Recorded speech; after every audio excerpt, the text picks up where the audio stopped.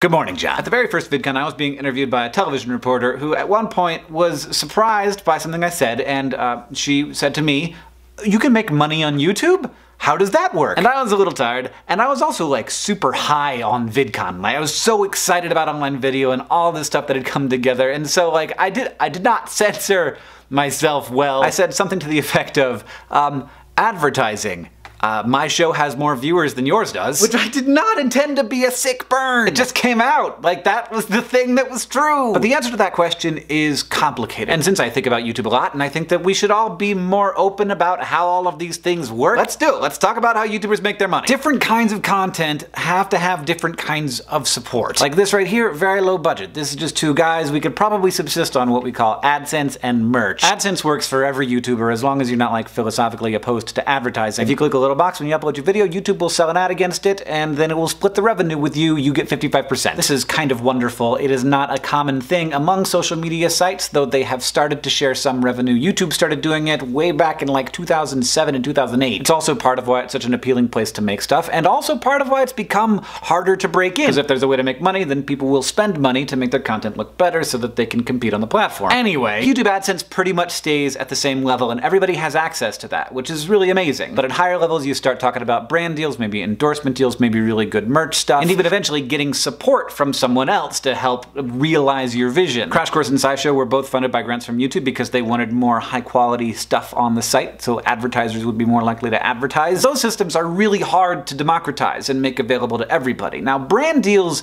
are a little bit different. They have started to be available to creators sort of in the middle class. Brand deal is basically anytime somebody pays you to talk about something in a video, whether that's like an audible.com call out at the end, or it could be a big elaborate production and your entire video is about the topic that the brand wants you to talk about. YouTube advertising is available to everybody and it comes in and you don't have to worry about whether or not it's gonna come in, but it's a really low rate in order to supplement income. A lot of YouTubers, in addition to having, you know, regular jobs, also live in Los Angeles where it's easier to get gigs acting or hosting in TV commercials or shows. And if you have more social media followers these days, it can be easier to get that kind of work which is interesting. Some YouTubers also make money by touring, whether they're comedians or musicians. Sometimes creators will license their content to other platforms. Sometimes videos go on TV and you can make some money that way. And then you have some creators like Rooster Teeth building their own subscription platforms. And then if you don't want to make people subscribe, you can also ask them to subscribe through services like Patreon, which is extremely important for shows like Sexplanations, for example, that gets really bad YouTube ad rates because advertisers don't want to be next to the word sex. Without the support of Patreon patrons, that show couldn't happen at all. The thing to remember is that different kinds of content work better with different kinds of monetization. Unlike what I said to that lady at VidCon 2010, it's not simple. It's gotten a lot more difficult to make your way on this platform, and it has become more complicated, which is one of the reasons why I recently started a thing called the Internet Creators Guild, with the goal of being a resource uh, to connect creators together, to give them information, and